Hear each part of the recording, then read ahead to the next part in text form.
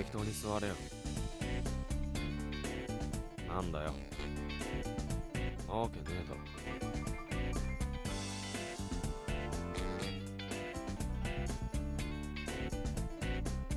ちょっと待ってろよ。なんか飲み物持ってくるから。いいから。お前はとりあえず座っ。えっ。て気にすんな。いつものことだ。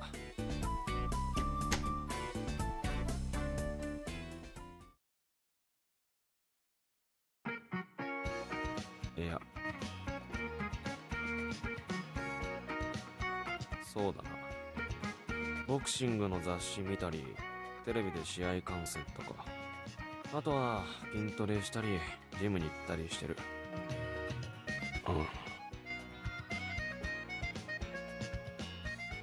うん。悪いな。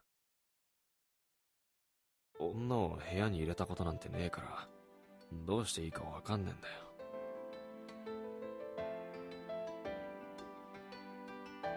あ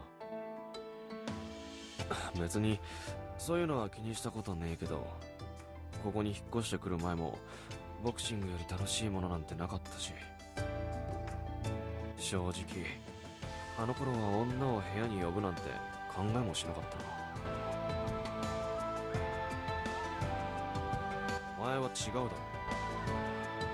だからもっと前に会ってても多分呼んでた。